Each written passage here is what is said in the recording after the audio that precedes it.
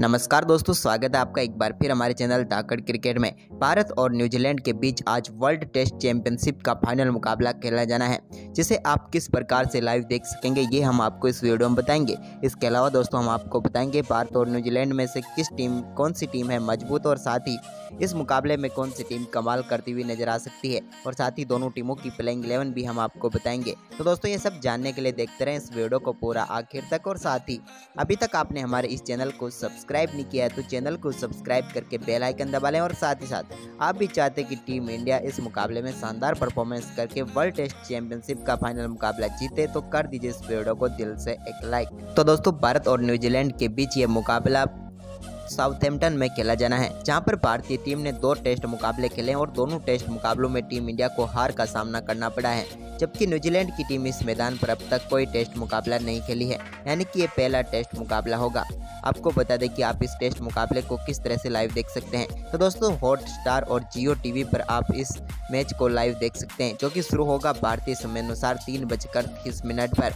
आप इसे star Sport network पर भी देख सकते हैं, जहाँ पर स्टार स्पोर्ट वन, टू पर ये आएगा। इसके अलावा दोस्तों, हम आपको डिजनी प्लस हॉटस्टार पर आप इसे लाइव देख ही सकते हैं। वहीं पर अब हम बात करते हैं कि आखिरकार इस मुकाबले में टीम इंडिया की तरफ़ से कौन से बल्लेबाजों पर सबसे ज़्यादा निगाहें रहेगी? तो दोस्तों टीम इंडिया की तरफ़ से विराट कोहली, चेतेश्वर पुजारा, अजिंक्य रहाणे, रोहित शर्मा और रविंद्र जडेजा के ऊपर काफ़ी कुछ निर्भर करेगी टीम इंडिया क्योंकि विराट कोहली ने अब तक नौ टेस्ट मुकाबलों में न्यूजीलैंड के खिलाफ जहाँ सात रन बनाए तो वहीं पर चेतेश्वर पुजारा ने नौ मुकाबलों में सात रन बनाए हैं। अजिंक्य रहाणे ने सात मुकाबलों में 600 रन बनाए हैं तो वहीं पर रोहित शर्मा ने पाँच टेस्ट मुकाबलों में 360 रन बनाए हैं। इसके अलावा रविंद्र जडेजा ने 236 रन बनाए हैं। वहीं पर टीम इंडिया की प्लेइंग इलेवन की बात करें हम इस टेस्ट मुकाबले के लिए तो भारतीय टीम की प्लेइंग इलेवन घोषित हो चुकी है, जहाँ पर टीम इंडिया की तरफ़ से ओपनिंग करते हुए दिखेंगे रोहित शर्मा और शुभमन गिल दोनों के पास बेहतरीन मौका होगा तो वहीं पर नंबर तीन पर टीम इंडिया की तरफ़ से चेतेश्वर पुजारा उतरेंगे तो वहीं पर नंबर चार पर भारतीय टीम के कप्तान विराट कोहली उतरने वाले हैं। विराट कोहली के ऊपर भी बड़ी ज़िम्मेदारी रहेगी। तो वहीं पर नंबर पाँच पर उप कप्तान अजिंक्य रहाणे उतरेंगे।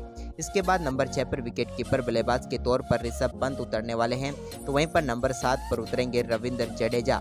इसके बाद नंबर आठ पर टीम इंडिया की तरफ़ से रविचंद्रन अश्विन उतरेंगे तो नंबर नौ पर उतरने वाले हैं ईशांत शर्मा। नंबर दस पर मोहम्मद समी उतरेंगे तो नंबर ग्यारह पर उतरने वाले हैं जसप्रीत बुमराह, यानी कि टीम इंडिया के पास तीन तेज गेंदबाज और दो शानदार ऑलराउंडर मौजूद हैं।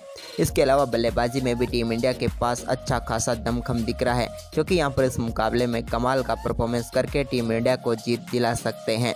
वहीं पर इसके बाद दोस्तों अब हम बात करते हैं न्यूजीलैंड की टीम की प्लेइंग इलेवन की। तो दोस्तों न्यूजीलैंड की तरफ़ से ओपनिंग जोड़ी में डेवन कॉनवे और उनके साथ टॉम लेथम उतरने वाले हैं। दोनों के पास यहाँ पर टेस्ट क्रिकेट में बेहतरीन परफॉर्मेंस करने का मौका रहेगा।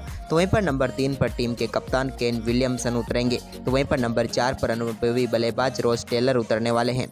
तो वहीं पर नंबर पाँच पर हेनरी निकोल्स उतरेंगे। तो नंबर छः पर बी जे वेटलिंग उतरने वाले हैं। इसके बाद नंबर सात पर कॉलिन डी ग्रैंड होम उतरेंगे। तो नंबर आठ पर कायली जेमिसन उतरने वाले हैं। नंबर नौ पर टीम साउथी उतरेंगे। तो नंबर दस पर एजाज पटेल उतरने वाले हैं। वहीं पर नंबर ग्यारह पर ट्रेंट बोल्ट उतरेंगे।